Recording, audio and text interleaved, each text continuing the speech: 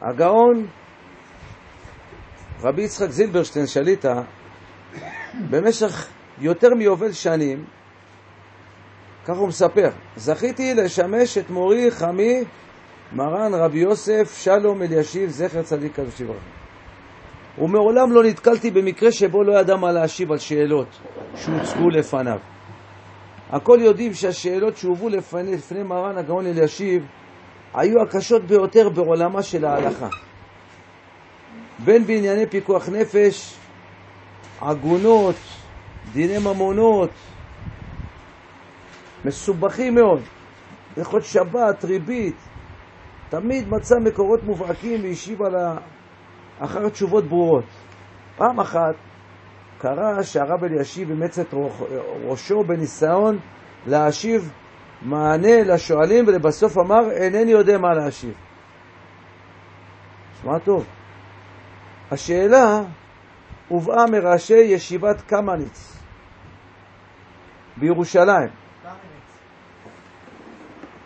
קמניץ, קמניץ. בישיבה זו אין מושג של חופש או בין הזמנים. אין להם בין הזמנים. והבחורים לומדים ממש בכל ימות השנה.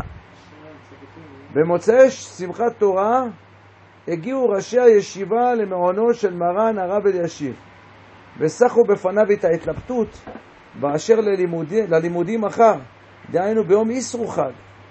הם סיפרו שבמשך החג רקדו הבחורים וקרקעו בעוז ותעצומות לכבודה של תורה, שמחת תורה, עד שהתעייפו מאוד, ובנוסף לכך, מוצאי שמחת תורה, נהוג שבני הישיבה מסייעים בפירוקה של הסוכה הגדולה של הישיבה, ובגלל זה, זה היו ערים עד שעה מאוחרת בלילה.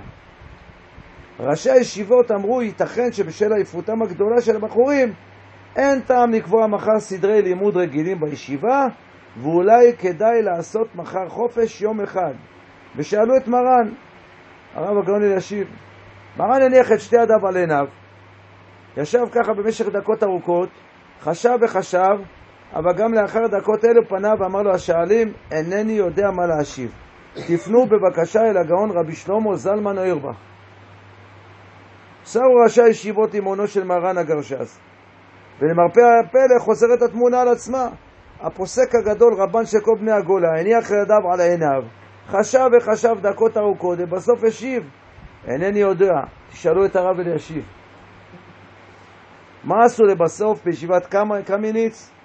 אנחנו לא יודעים, אך מהסיפור נוכל ללמוד שהשאלות הקשות ביותר נסיב, כן, נסובות על ענייני התורה, ההכרעות הגורליות ביותר נתונות סביב השאלה מהי טובתה של התורה עצמה. וזו הסיבה ששני גדולי הדור נמנעו מלהכריע בעניין. מה אנחנו צריכים ללמוד מכך? לשמור בהקפדה על זמני הלימוד, כן? ונזהר עד כמה שהדבר אפשרי שלא לבטל ולו רגע אחד מלימוד התורה הקדושה. חזק וברוך.